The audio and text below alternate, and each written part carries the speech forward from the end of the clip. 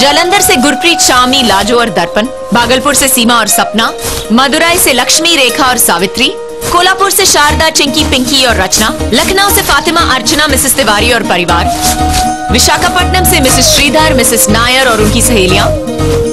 ये उन लाखों में से हैं जो ऋण के एक करोड़ सफेदी चैलेंज से मान गई हैं। कि जब सवाल हो चमकती सफेदी का तो जवाब है सिर्फ़ ऋण। तो क्या आपने ऋण आजमाया?